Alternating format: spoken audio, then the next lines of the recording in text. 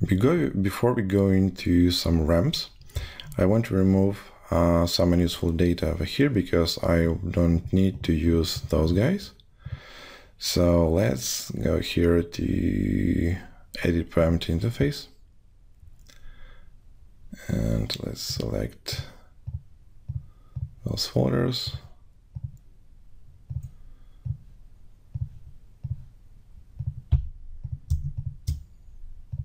Make them invisible. Can apply this, except, so now I have those guys here. And what I want to do is basically maybe add some folders. So I'll let a folder here in the root. Let's call this forces. And let's add another folder called ramps so let's grab all those guys here on the forces so the search radius and number of points they all let's just separate them maybe just to make like a difference between those then we have the um, point cloud texture what is it? oh this is our path this is our path let's rename it let's call this uh, the curve path. And let's drag it here on the top level because like main parameter if it doesn't have a path we will not use it. And up force attraction force and orbit force. Cool. So apply accept. Now we have the proper representation for those parameters. We have the ramps which which is empty by now and we have the radius which we can choose depending on the scale. And we have the force multiplier which is good here. And I will change them a little bit later.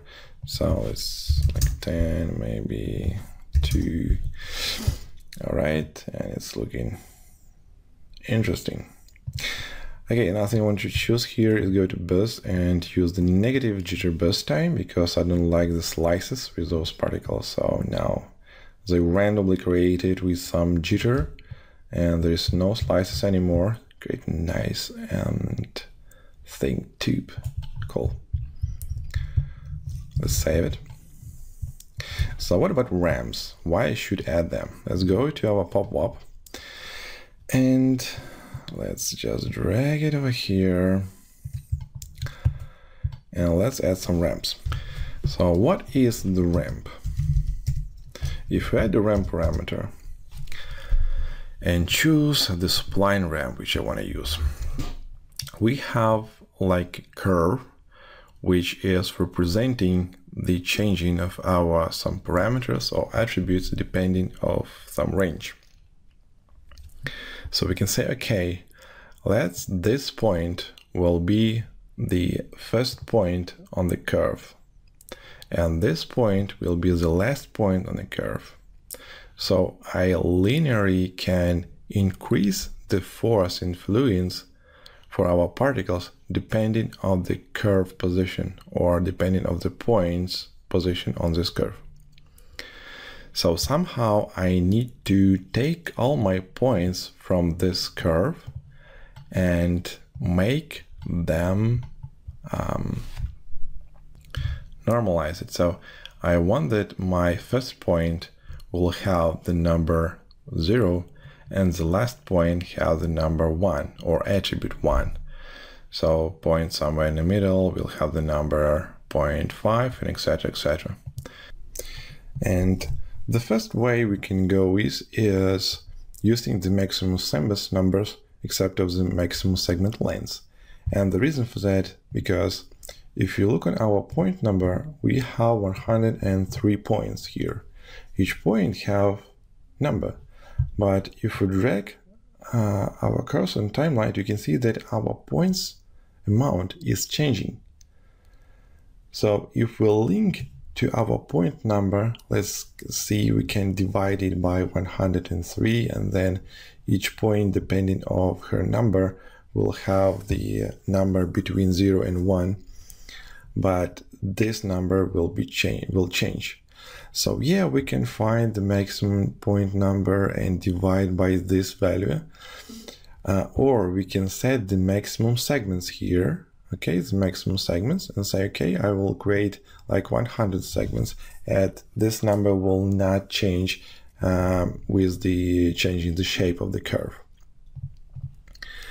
or we can play with the y parameter now um, my last point from the curve will ha always have the same y position and my first point also will have the same y position. So back geometry spreadsheet, our smaller and the bigger value from the y position will be always the same. So what we can do is somewhere here after the sample, we can add the attribute wrangle node and say that uh, we can um, say I can create some float attribute, which we can call normalized position, and it will be uh, equal to our position by y divided by 50. So now our end position attribute will add to each of the point the unique uh, attribute which will be from 0 to 1 depending of the position on the curve all right so now we can apply this attribute to our let's call this add and position position cool Let's copy that. Now let's get back to pop network. Let's back to our vortex forces. Let's grab another one point cloud filter. Point cloud filter from those point clouds and let's take our oops sorry let's take our end position Okay, so now how I can use this end position. It's just like a float. So let's look in here. And ah, oh, this node because it's, it's not an attribute of my points. Cool. And how I can use this end position. Let's rename it. So now here uh, from this value, we're going to have, it's not a vector channel, it is a float channel have the float number between 0 and 1 and I can connect this float to the ramp. So where's my ramp? Let's uh, let's let's play with orbit force because it's um, the much more representative because if you change the speed radius we can apply different shapes. So add another one or actually we can connect this ramp to our multiplier. Just put this here. And let's call this ramp um, orbit orbit ramp like here. So now let's see how we will what change we have here. Now we can see that our orbit speed is changing from zero here and bigger there. Okay, now if you want to change the shape like so, play a bit.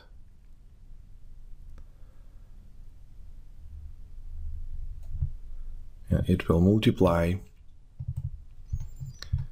using this end position. And even if, if it's visually not too representative yeah it's looking like it has the same uh, let's change this like one and smaller here like here to zero and decrease the attraction multiplier to one okay you can see a bigger rotation and then smaller rotation And then after this, we can increase the shrink it up again. I just want to look on my curve. Yeah, here you go.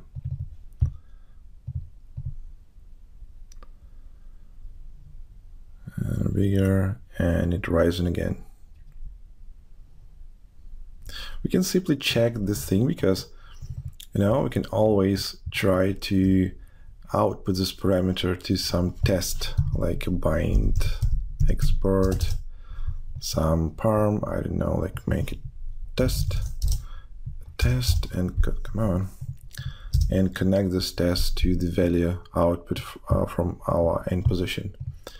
And get back here, choose find this test somewhere here. You can find that we have some values between 0.02 and 0.05 because this is the closest points we can find on the bottom area of my curve and if you look at the maximum and play, you can see that this number is rising, rising, rising, make it bigger and bigger and bigger. Until the moment when our particles will go here to the, the upper curve position, they will have the settings closer to 1, which just mean that now many of those particles have um, values between 0 and 1 and that's how our ramp is working. So for those particles which will have positions closer to 0 they will have this value. Uh, particles which have a position like 0.5 will have this value and particles in the top of our curve will have this value. So we can create a simple ramp to control the forces along the curve. So remove this test, we can see that it's working. And it's very important to have a proper order because if we multiply our vector uh, attribute by the float attribute, it's very important that our vector is in the first input and the float is another one because we can multiply vector by the float but not otherwise. Okay, so now going to set the same ramp parameter for each of those uh, forces. So I'm going to say this and connect to this multiply. Let's call this, what is this?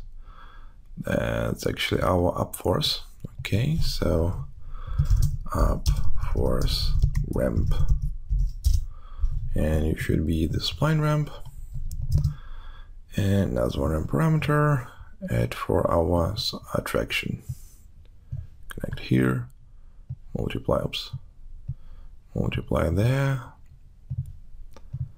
That's gonna be my um, attraction ramp. Okay, going like this. And you should be the spline ramp too. Right, so go down here and let's play with those guys. Again, maybe I will put them here on the rep folder. So they just up force, let's do the proper order. So we have the up force first, attraction force next one, and the orbit one the third. Come on, let's down here. Oh, that is ramp. Yeah, accept. So now we had all those ramps over here. Cool. So let's play with those ramps I don't know, maybe let's play with orbit ramp, make it a little bit smaller. Uh, the first stage, layer bigger here, like 0.3 here. And you at 1, like 0.5, oh, 0.1, 0.5. This guy should be like here, maybe a little bit up and these guys go to value of 1. And the attraction ramp, basically the more attraction I want to have in the start, and if I want to have a more wider circle here, um, at the end we can set attraction force like uh, I don't know, like 0.1 maybe. So not too big attraction, and play like here add some difference in this area. Okay, and with the up force, um, mainly I don't know maybe like put 0.5 here on position and maximum there. So uh, small like the two times smaller force on the start and the bigger force at the end. Let's play with this and get back to our forces. Let's just adjust some forces here, maybe add a bigger uh, bigger orbit multiplier. Let's say 50. Whoa. Yeah, baby. That's how it's working. And now the up force bigger, maybe like city. And rising up faster. And now traction bigger, traction like uh, three. So attraction force is very sensitive in our case. And yeah, it's looking good. It's looking good now. It's creating nice shape. Maybe a little more orbit multiplier, like 65. And yep. yes, yes, yes, yes. again, go again go to ramp, and with some orbit, I don't know, it's too fast over here, so maybe put it down a bit.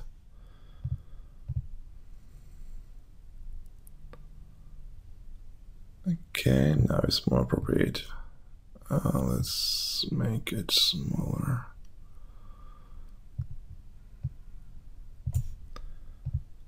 Okay. And yeah. It's looking good.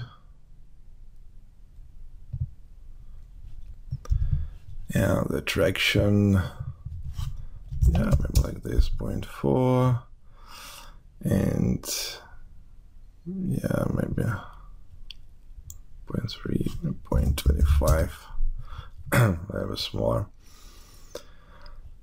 And the up force again yeah I mean 0.5 and 1 should be fine.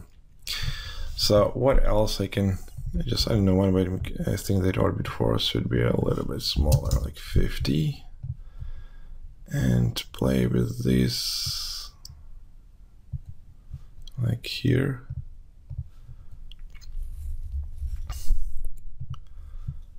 Maybe choose a different presentation, maybe non-linear, maybe like Catmull-Rom.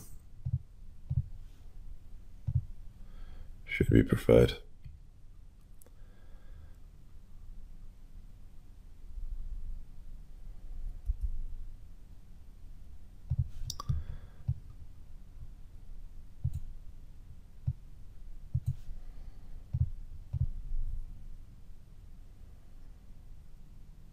Yeah, you can see as we can play with the shape as we want. We can drag it here.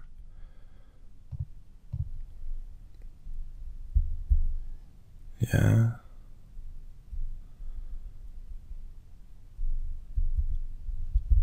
But the thing is, we have a very, very, you know, uh, a small result we need to add a little bit of random here.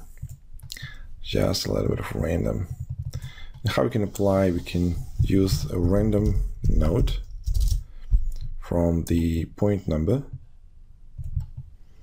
add and multiply this random multiply somewhere uh, or let's multiply it to our orbit force so connect this here and now the multiplication.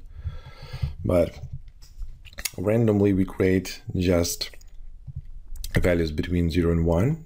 So let's go and add a fit range and set um, the promote parameter. So you should be a minimum random. You should be a maximum random.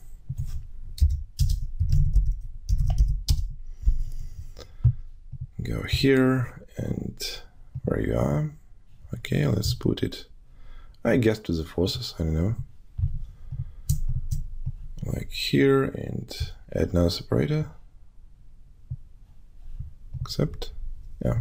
So here we have from zero to one, and we can set um, like 0.75 to 1.5. I don't know, just to add more random to the shape, so it's not like not like here. It's very very.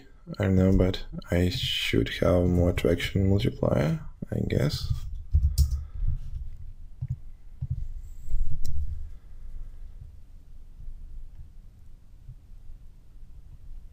still a bit big here ups not new go to ramp and maybe make it smaller for my orbit force 2.9 because it still create very very you know huge vortex a big radius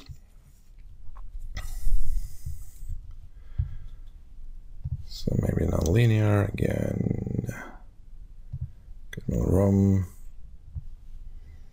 play with those settings.